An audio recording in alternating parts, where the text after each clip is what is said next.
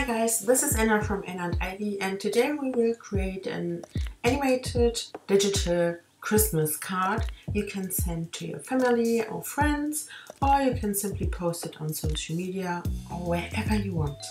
So for this um, card I will use our another animated Christmas story collection with, which contains animated elements as well as vector and clip art elements and if you never used any of our animated products before if you want to use the animated elements you need to have a, a Photoshop version that, that's newer than 2018 or 2018 version.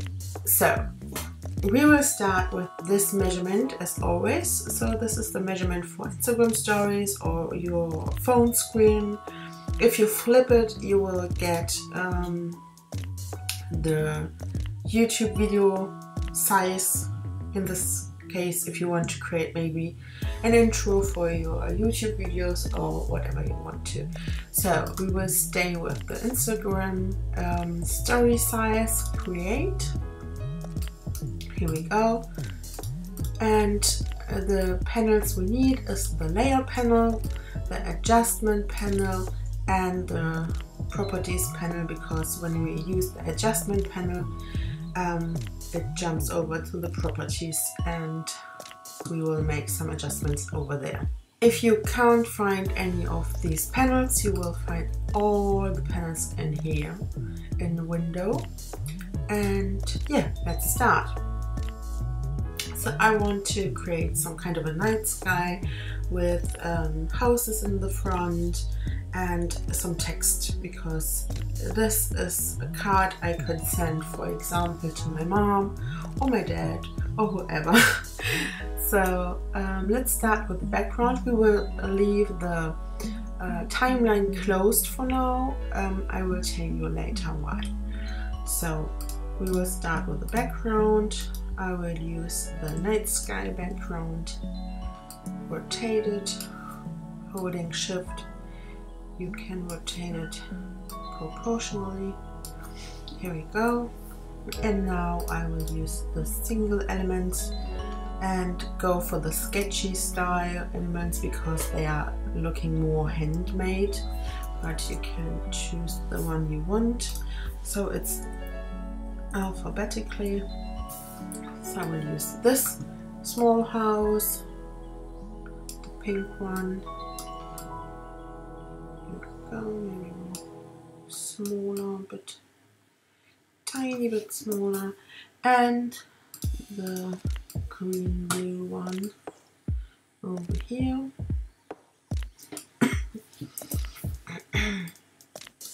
and set the pink one to the top because it has a small thing here so it looks more dimensional. So the next thing I want to do, I want to change the color of the wall or the house color a bit. So I will use my adjustment panel and select hue saturation. And now I will create a clipping mask by holding alt on the keyboard and then the small arrow appears. And now my hue saturation adjustment layer is connected and only affects this house um, clip art or animation. So since I only want to change the color of the wall, I will use um, this color picker here, a small tiny hand, and I will click on the color I want to change. So now the adjustment layer selects the range of the colors, which means that if I change the color, for example, the saturation, it also affects everything that's also inside of this color range. So since we have like this blue colored windows here at the moment, it also affects the windows, but we can adjust the range of colors we want to change and you can see it down here and I simply move the small um, tiny dot a bit to the left to exclude the dark blue section. So as you can see, when you look at this um, section here, when I move this back and forth, I can adjust the se uh, selected color range. So I moved it to the left, so I excluded the blue, dark blue parts, but still included the greenish blue parts. So we will simply use the hue um, slider here and I will make it like more bluish and a bit more saturation in here and a bit darker no I will stay with zero so now we change the color of the house wall. And the next thing we want to add is for example something like a banner. So I will go in here and look what we have inside. This banderole thing. This one I will use this one. So I will drag and drop it into my uh, document and position it where I want to have it at this point you recognize you don't see anything because the banderole or the spanner um, starts with an empty layer because it builds up as you can see. So at the very beginning there's nothing you can see but we will uh, adjust this later. So keep in mind it's here but you can't see it at the moment. So then we want to use maybe a shape or something like this. Here we go. the same situation as with the banner or banderole you won't see anything at the beginning but we will change it in a minute so we will now go to our window timeline section and click on create video timeline. Don't click on create frame animation. Here we go. The reason why I open it now is because when you add more elements into it and move with the small arrow around, you will always um, mess the elements a bit up and it's easier to make it like without the timeline at the beginning and then later go into the timeline. It's just a more organization kind of thing. So as we move this to the right, we can see now our banderole as well as our shape is in here so I think maybe banderole yeah I think we will move it so I will move the shape behind the houses to make it more like dimensional. And I will change the color so I go to the FX um, icon over here color overlay. And I will I think I would use like some kind of beige tone maybe. So it's hard to decide. A dark blue tone so you can see the text a bit better. Hmm. or a yellow tone so we can say this is the moon. Yeah this is a nice idea. So you will make it like this. It looks like it's the moon maybe and I will color this banderole or this uh, banner more festive kind of color. So maybe a pink tone which is not festive at all but you know what I mean. A red something like this. Yeah I will leave it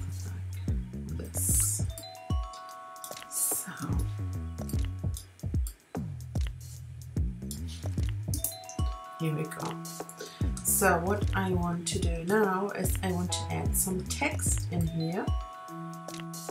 So we'll go to this point where I just see everything and I will make my whole clip a bit shorter so I will leave it at 50 seconds which is enough in my opinion for this animation.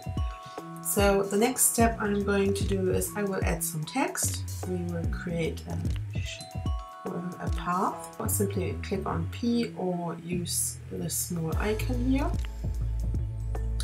And paint or create a path on the bottom of this um, banner to have this shape or this this this wave and somehow redone. So now move to text, click on this text icon and when you move over this um, path, you can see the text um, icon changes a bit, which means we can write on top of this. So dear Ma, again. So as you can see, our text is not really visible. So to move this around or change the beginning and the end of um, the text, hold command on your keyboard and move it to the right. And as you can see, I already did a mistake. And here we go. Just move it a bit up. Now we will write my, the Christmas wishes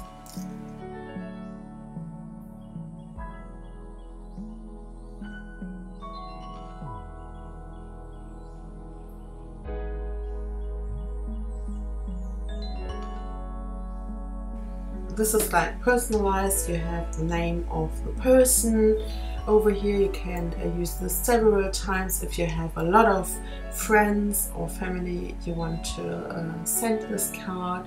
It's personalized but it's also digital so here we go. Now the next step um, I want to make is I will adjust the text section in here because my arrow was over here when I started to write and I want my text to start at the very beginning but as you can see the cool thing is when you use the background color in your text when the text is on the background itself it looks like it's not there so this is the cool thing. But you can also of course um, blend it in. So let's uh, blend this text in here in. Open the small section over here. Select your layer of the text. Change the opacity to zero and make a small keyframe over here. Then we will move this to the right. Make another keyframe if you want the text to still be invisible. And now we moved it a little bit more to the right change the opacity to 100 and as soon as you make a change the keyframe will appear automatically. So if we start this clip from the very beginning we will see it blends in.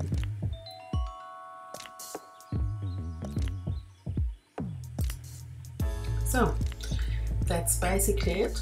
You can create as many cards as you want or you can duplicate this card several times and always change the name of the person you want to send it and yeah that's it now go to file export and render video as always.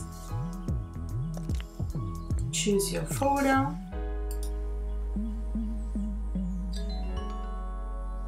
Just make sure you save your PSD file because if you want to make adjustments or if you want to change the name and send some more out, um, it's always good to have this saved so you don't need to redo this each and every time. So the second card we are going to create a small kind of um, snowy one.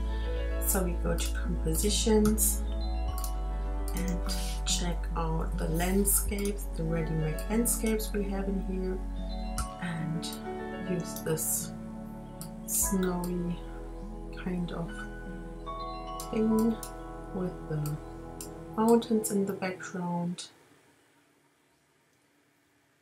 Maybe sit down here. And we will change the background by using one of the pre-made backgrounds, the blue one, rotate it, adjust the size, and here we go. So you can of course also change um, the color a bit. Again with hue saturation, command um, alt and a clipping mask in here and change this section to a different color.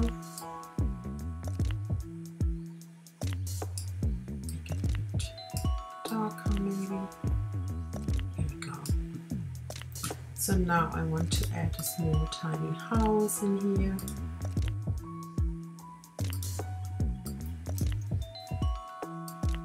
Now it's in the background, so I want to put it on top and maybe some trees.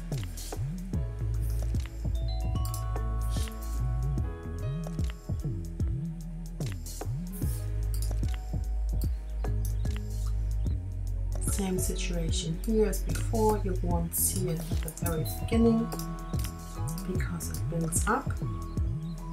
I will like two three in this and maybe some snowflakes over here.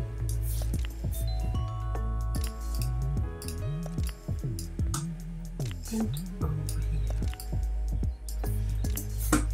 I will change the color of the snowflake because it's not really visible on this blue background. I use color overlay and make it white. And the same here color overlay and white. Here we go. So I will add my text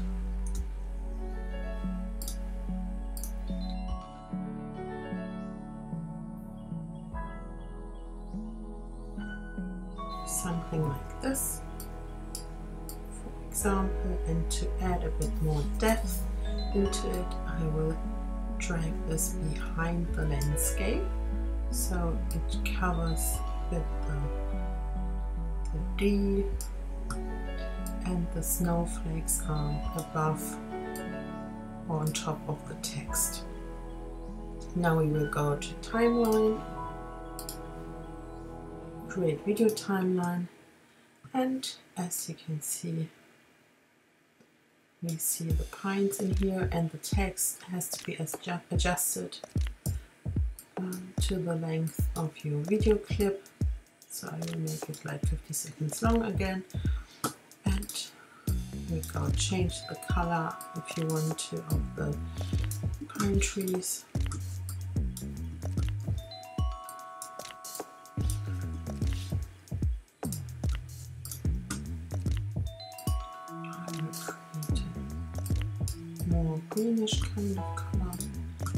Go. And it's basically it.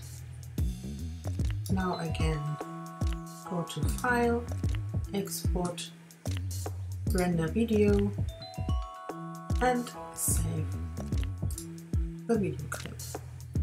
So these are our two cards. I hope you enjoyed the small tutorial and I wish you a very very Merry Christmas and um, relaxed and healthy days during this holiday season and we will see each other or hear each other in the new year.